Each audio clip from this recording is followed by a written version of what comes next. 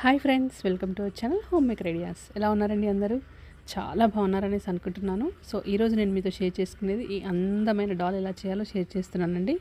అంతకుముందు కూడా నేను ఒకటి షేర్ చేశాను. ఈ సెకండ్ డాల్.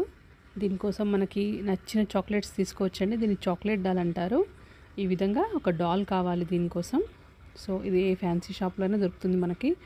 మెయిన్గా ఈ డాల్స్ని మనము పెళ్ళిళ్ళకి శారీ ఫంక్షన్స్కి అలాంటి వాటికి గిఫ్ట్ చేసినా బాగుంటుంది. లేదా డెకరేటివ్ ఐటమ్స్లో కూడా పెట్టుకోవచ్చు. దానికోసం ఈ విధంగా కొంచెం లావుగా ఉండేటువంటి ఒక చార్ట్ పేపర్ కావాలండి. ఇవి విడిగా దొరుకుతాయి. వీటిని ఐవరీ షీట్స్ సంథింగ్ ఏదో అంటారు. కాకపోతే ట్వంటీ రూపీస్కి ఒక షీట్ ఏదో ఉంటుంది. ఎందుకంటే మనం నార్మల్ చార్ట్ పేపర్ ఫైవ్ రూపీసే ఉంటుంది కదా. ఇది ఇక్కడ నేను కచ్చా మ్యాంగోస్ అండ్ డైరీ మిల్క్ చిన్నవి ఉంటాయి కదా అవి తీసుకుంటున్నాను. అతికించడానికి ఫెవి బాండ్ ఒకటి ఫెవికాల్ ఒకటి తీసుకున్నాను.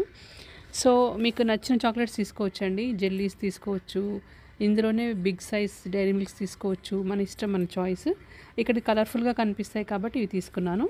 ఇప్పుడు నేను ఒక న్యూస్ పేపర్ మీద మీకు దాని డ్రెస్ క్రాఫ్ ఎలాగా చేయాలి అనేది నేను మీతో షేర్ చేస్తున్నాను. ఇది కటింగ్ కరెక్ట్గా వచ్చిందనుకోండి మనం ఇంకా డాల్కి ఈజీగా చేసేసుకోవచ్చు. అతికించడం ఏముందండి? కిడ్స్ అయినా అతికిస్తారు. కాకపోతే ఈ కటింగ్ ఒకటి జాగ్రత్తగా చూడండి.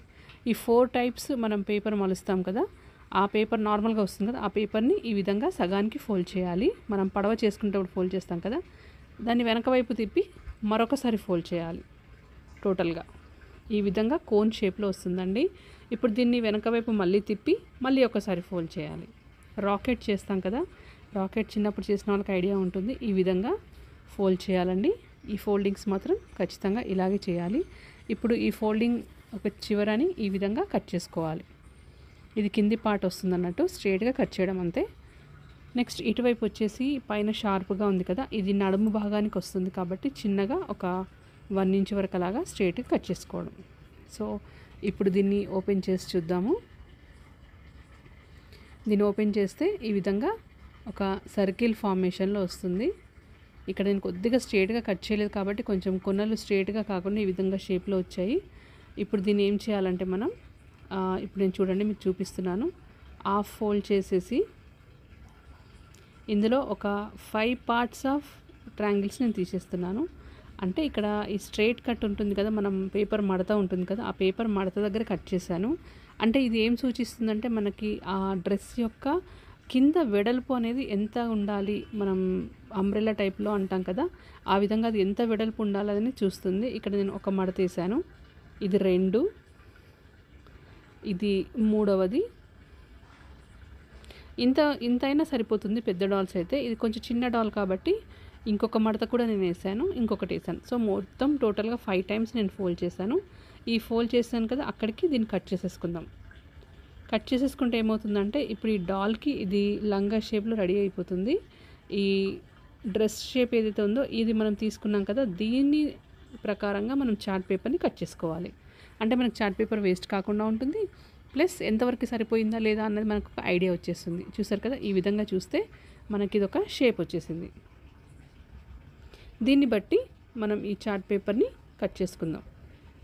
ఇక్కడ వైట్ కాకుండా గ్లిటర్ కూడా తీసుకోవచ్చు అండి గ్లిటర్ తీసుకుంటే ఏంటి అంటే మనకి నీట్గా ఉంటుంది. బ్యాక్ సైడ్ కూడా మనకి ఏమీ చాక్లెట్స్ మధ్య గ్యాప్ కనిపించకుండా బాగుంటుంది. సో ఇక్కడ పేపర్ వేస్ట్ కాకుండా నేను ఈ విధంగా ఒక వన్ సైడ్కి పెట్టి చూస్తున్నాను సరిపోతుందా అని.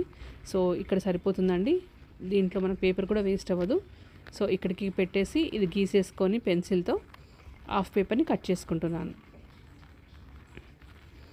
చూసారా? ఈ విధంగా దాని ప్రకారంగా షేప్ షేప్ కట్ చేసుకున్నాను. ఇప్పుడు దీన్ని ఫోల్డ్ చేసి చూద్దాము. ఇదిగోండి ఈ విధంగా డాల్కి మనం ఒక ఫ్రాక్ లాగా కట్ చేసాము. చూసారా? డాల్కి ఈ విధంగా వస్తుంది. కొంచెం కింద అంచులు ఏదైనా ఎక్కువ తక్కువ అయినా మనం అడ్జస్ట్ చేసుకోవచ్చు. సో ఒకసారి పెట్టి చూద్దాము. సో మనకు ఒక ఐడియా అనేది వచ్చేస్తుంది. మనకి పెద్దగా కావాలా చిన్నగా కావాలా అనేది ఇక్కడే సెట్ చేసుకోవాలండి. మనకి ఎంత సైజ్ కావాలనేది దాని ప్రకారంగా కట్ చేసుకొని ఇక్కడ రెడీ చేసి పెట్టుకోవాలి. ఒకసారి మనం అతికిచ్చేసాక ఇంకా చేంజ్ చేసుకోలేం. చూసారా? ఈ విధంగా నేను అతికిచ్చేసాను సో ఇదైతే ఈ విధంగా వచ్చిందండి. ఒక కోన్ షేప్ లాగా వచ్చేస్తుంది. మనం చేతులు పైకెత్తేసి దీన్ని మనం స్టిక్ చేసేసుకోవాలి. గమ్తో కానీ ప్లాస్టర్తో కానీ స్టిక్ చేసుకోవాలి. ఇప్పుడు దీన్ని మనం ఏ విధంగా డెకరేట్ చేసుకుంటాం అనేది మన చాయిస్ అండి మన ఇష్టం. సో నడుముకి ఈ విధంగా లేస్తో ఒక వడ్డనంలాగా పెట్టేసాము ఇప్పుడు ఒక్కొక్క చాక్లెట్ని మనం ఈ విధంగా ఫిక్స్ చేసుకుంటూ పోవాలి. ఎలాగంటే మనం ఇప్పుడు కచ్చా మ్యాంగో అని ఉంది కదండి దాని పేరు ఉంది కదా కచ్చా మ్యాంగో అని పైకి రావాలా కే అనేది కిందికి రావాలని చూసుకొని ఒకటే ఫ్లోలో పెట్టామనుకోండి నీట్గా కనిపిస్తుంది. లేదా ఒక ఒకటి పైకి కిందికి అలా పెట్టామంటే బాగుండదు. సో అందుకోసమని ఫెవికల్ కానీ గమ్ కానీ తీసుకొని ఇదిగోండి ఇక్కడ పెడుతున్నాను చూసారా? కింది నుంచి పెడుతున్నాను. ఇక్కడ నేను ఫస్ట్ టైం పెట్టినప్పుడు ఒకటి అటు ఒకటి ఇటు ఈ విధంగా పెట్టాను. కాకపోతే నెక్స్ట్ నుంచి ఒకటే ఫ్లో అనేది ఫాలో అవ్వుకుంటూ వచ్చాము. ఈ రెండు చాక్లెట్స్ పెట్టాక వాటి మధ్యలో ఇంకొకటి పెట్టాలి. కింది థర్డ్ లైన్ వచ్చేసరికల్లా సెకండ్ లైన్లో రెండింటి మధ్యలో ఇంకొకటి పెట్టాలి. ఆ విధంగా ఈ విధంగా పెట్టేసానండి మొత్తం. మళ్ళీ కిందికి వచ్చేసి డైరీ మిల్క్స్ అన్నీ పెట్టేశాను. ఈ చాక్ కచ్చా మ్యాంగోల మధ్యలో డైరీ మిల్క్స్ ఎందుకు పెట్టానంటే అక్కడ నాకు కరెక్ట్గా ప్లేస్ అడ్జస్ట్మెంట్ సరిగా రాలేదు. అందుకోసం అని చెప్పేసి రెండు కచ్చా మ్యాంగోలు పెట్టి దాని పక్కన ఒక డైరీ మిల్క్ని పెట్టాను. సో ఈ విధంగా మధ్య మధ్యలో సెట్ చేసుకోకపోతే క్రాస్ అవుతుందండి. ఇక్కడ నాకు అదే ప్రాబ్లం వచ్చింది. సో కొద్దిగా క్రాస్ అయ్యేసరికి దాన్ని మిగతా వాటిని మొత్తాన్ని డైరీ మిల్క్స్తో నేను కవర్ చేసేసాను. సో టోటల్గా అంత కంప్లీట్ అయ్యాక చూస్తే ఇదిగోండి ఈ విధంగా రెడీ అయిపోయింది. ఇది మొత్తం మన క్రియేటివిటీనే అండి. ఇలా అలా అని ఏమి ఉండదు. ఇక్కడ చూసారా మీరు చాక్లెట్స్ మధ్యలో వైట్ కలర్ కనిపిస్తుంది. అలా కనిపించకుండా ఉండాలంటే మనం తీసుకునేటప్పుడే గ్లిటర్ పేపర్ తీసుకున్నాం అనుకోండి. సో ఆ గ్లిటర్ పేపర్ వల్ల ఏంటి అంటే ఈ గ్యాప్ అనేది ఫిల్ అయిపోతుంది మనకు. ఈ లేస్తో నేను ఈ విధంగా కదలకుండా గమ్తో అతికిచ్చేసాను. ఈ డాల్ అనేది కాస్త బరువెక్కుతుంది కాబట్టి మనం డాల్ని పైకి లిఫ్ట్ చేసేటప్పుడు కొంచెం జాగ్రత్తగా చేయాలి. ప్లస్ ఇంకోటి ఏంటంటే డాల్ కింద బేస్ కూడా మనం ఒక రౌండ్ బేస్ తీసుకొని ఆ బేస్ పైన ఈ డాల్ని పెట్టుకోవాలండి. అది నేను మీకు చూపించడం మర్చిపోయాను. చూసారా? ఇక్కడ ఒక నేను అట్ట పైన నేను పెట్టాను. చూసారా? సో ఈ విధంగా బేస్ పెట్టి కొద్దిగా స్టిక్కర్ అది పెట్టి రెడీ చేశాను. చూసారు కదా ఫ్రెండ్స్ మొత్తానికి డాల్ అయితే ఈ విధంగా రెడీ అయిపోయింది.